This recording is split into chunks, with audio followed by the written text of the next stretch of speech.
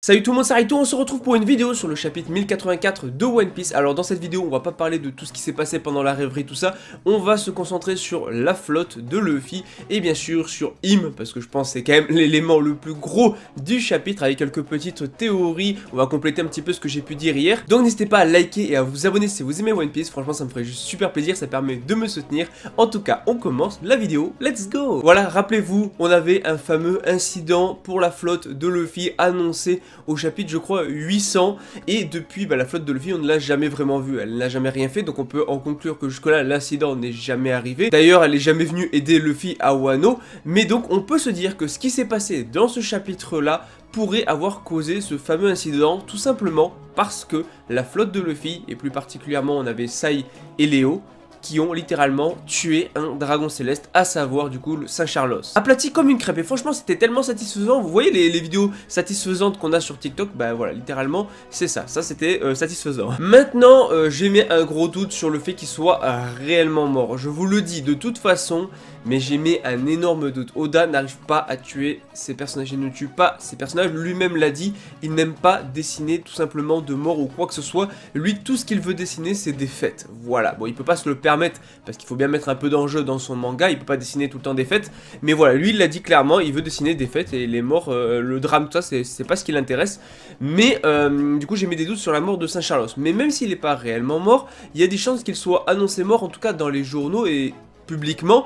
Donc dans ces cas-là, ça pourrait être l'incident causé par la flotte de Luffy et ça peut être très très cool. Parce que là, on parle quand même d'une tentative d'assassinat, en tout cas d'un dragon céleste, parce que même s'il n'est pas mort, ils ont attaqué un dragon céleste et à partir de là, ça ne peut pas rester impuni. On rappelle que normalement, tu t'en prends un dragon céleste, euh, voilà, on va te, rechercher, on va essayer de te, capturer tout ça, voire de te tuer. Donc très très intéressant, donc ça peut être ça l'élément déclencheur de la flotte de Luffy. Maintenant, on va parler de l'élément principal du chapitre. Franchement, je suis trop hypé. En fait, j'ai trop envie d'en parler tellement il y a, il y, a de trucs et tout, et tellement c'est ouf, c'est ouf. Rien que la page avec Im qui s'assoit sur le trône devant Cobra, elle est complètement folle. Je ne reviendrai pas sur tout ce qu'on a eu vis-à-vis des 20 fondateurs, du fait que les Nefertari, euh, en tout cas le royaume d'Alabasta, euh, n'a jamais mis son épée pour jurer, donc du coup de ne jamais s'asseoir sur le trône. Je vais pas revenir sur ça, on va surtout revenir plus sur euh, Im lui-même et les théories qui peuvent aboutir là-dessus. Première théorie, on y a tous pensé, vous l'avez tous dit en commentaire. Maintenant,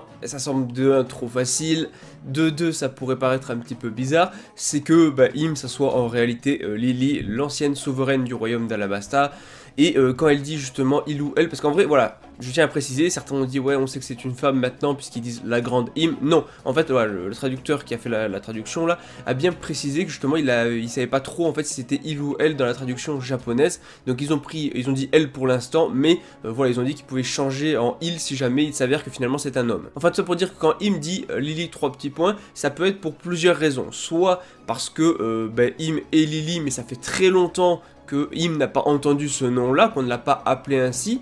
Euh, deuxième chose, ça peut être tout simplement parce que Im connaît Lily, soit parce que euh, bah, il a fait quelque chose, il ou elle a fait quelque chose à Lily, ou bien, on va dire elle, sinon ça va être compliqué, elle a fait quelque chose à Lily, ou bien Lily l'a aidé dans le passé pour quelque chose dont on va parler juste après. Ce qui du coup débouche sur euh, la deuxième théorie, c'est le fait que bah, Im a eu 800 ans potentiellement, donc soit un voyage dans le temps en mode Toki, mais bon, on l'a déjà eu donc je pense pas, soit la fontaine de Jouvence, euh, soit un fruit du démon, fruit du chirurgien ou fruit je ne sais pas quoi, qui pourrait potentiellement avoir été utilisé euh, pour euh, permettre à Im de vivre aussi longtemps. Parce qu'effectivement, si elle connaît Lily qui date d'il y a 800 ans, c'est que Im aurait peut-être 800 ans. Donc ça, c'est déjà des théories que j'avais parlé et tout. Maintenant, on peut rajouter la théorie que Im pourrait ou utiliser en tout cas Uranus. Et euh, il y a pas mal de points déjà qui sont intéressants.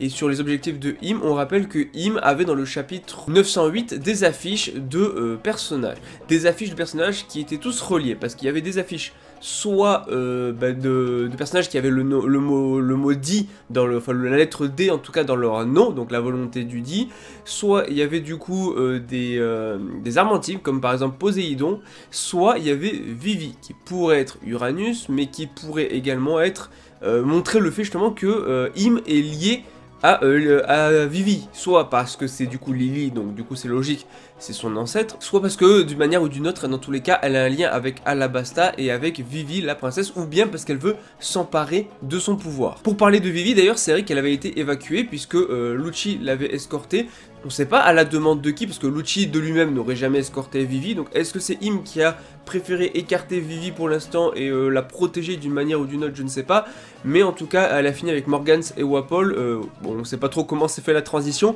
mais en tout cas pour l'instant Vivi est hors de danger, donc est-ce que Im a Uranus, c'est possible, on rappelle que Im a détruit le royaume de Lulushia quand même euh, d'une manière euh, assez euh, déconcertante. On n'était pas prêt à ça. Elle a littéralement fait sauter le royaume et elle a fait Ah, le royaume de Lulusha? Bon, ça n'a jamais existé. du coup, voilà, c'est possible qu'elle ait en tout cas l'usage d'une arme antique. Maintenant, euh, plusieurs choses. Soit Im n'est pas Lily, on va partir de ce cas-là, parce que c'est Lily, ok c'est Lily. Soit c'est pas Lily et elle a peut-être gardé prisonnière un temps euh, ben justement euh, Lily et peut-être même se serait emparé de son pouvoir. Mais il faut quand même noter que finalement, ben, ils ont tous, les royaumes, juré allégeance de ne jamais, en tout cas, s'asseoir sur le trône avec leur épée. Et euh, le seul qui l'a pas fait, le seul pays, c'est Alabasta. Et comme par magie, il y a quelqu'un sur le trône, ça pourrait être quelqu'un d'Alabasta. Donc ça coïnciderait avec Lily, mais ça paraît trop simple. Soit elle aurait par exemple tué Lily avant même qu'elle rentre à Alabasta parce qu'elle a refusé du coup de, faire partie des dragons célestes. Enfin voilà, au final, il y a pas mal de théories qu'on peut faire. Après, je pense qu'il y en a plein d'autres et justement, je compte sur vous pour me donner toutes vos théories autres que celles que j'ai dit, voilà, parce que ou, donnez-moi votre avis sur celles que j'ai dit, mais donnez-moi toutes vos autres théories si vous en avez. Que si vous, c'est un personnage qui, n'a rien à voir et voilà, toutes les théories tombent à l'eau. Mais en tout cas, dites-moi en commentaire euh, ce que vous pensez des théories et surtout donnez-moi vos théories autres que celles-là si vous en avez potentiellement. Euh, d'ailleurs, pour parler de la chambre fantôme, juste très rapidement, qui est énoncée, donc soit pour moi, c'est la chambre avec le chapeau de paille, voilà. Et ben, il me fait disparaître ceux qui ont vu cette chambre, qui n'est peut-être pas si bien cachée que ça du coup. Soit euh, c'est la chambre fleurie, où on a vu Im plusieurs fois. D'ailleurs, on a vu Im, il y avait un personnage qui s'était agenouillé, qui n'avait pas l'air d'être du coup un membre du Gorosei. Donc est-ce que ça pourrait être Lily? Je ne pense pas. Mais peut-être un des chevaliers divins, justement, donc introduit euh, déjà par Akeinu. Et donc en fait, on en avait déjà vu un, donc ce serait potentiellement, il me semble, une femme au vu de l'ombre. Alors faudrait que je revoie le chapitre. Mais dans tous les cas, voilà, pour moi, c'est ces deux chambres-là. Voilà, soit la chambre fleurie, soit la chambre avec le chapeau de paille.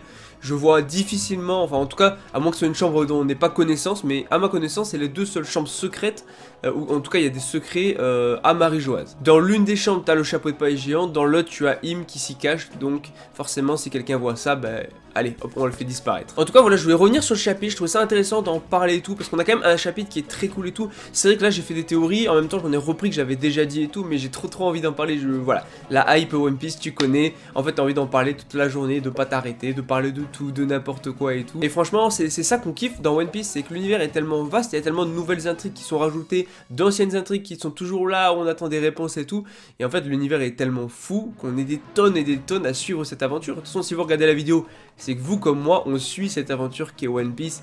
Et franchement, One Piece, c'est... Moi j'ai envie de dire clairement c'est la vie parce que c'est une œuvre vraiment où, euh, je vous jure j'ai des frissons rien que d'en parler, mais c'est vraiment une œuvre qui nous touche tous, ou quasiment tous, tout le monde ne regarde pas One Piece bien sûr, mais on est énormément à suivre cette œuvre, il y a tellement de, mystères, de personnages hauts en couleur, de choses auxquelles on est attaché. Maintenant, ça fait longtemps, alors moi personnellement, voilà, je vous le dis, je suis One Piece depuis 2017, donc c'est pas si vieux que ça non plus, même si ça fait quelques années maintenant, dites-moi depuis quand vous suivez One Piece d'ailleurs, mais même voilà, c'est vraiment, c'est une aventure, One Piece c'est une aventure, et euh, de toute façon, le One Piece, même la fin, ça finira avec une grosse fête. Parce que Oda l'a dit, de toute façon, il veut conclure son manga avec une fête. Et lui, ce qu'il aime dessiner, c'est des fêtes. Donc, une fête de pirates ou de marine, de je ne sais quoi. À la fin du manga, de toute façon, on va se finir avec une grosse, grosse fête avec tout le monde.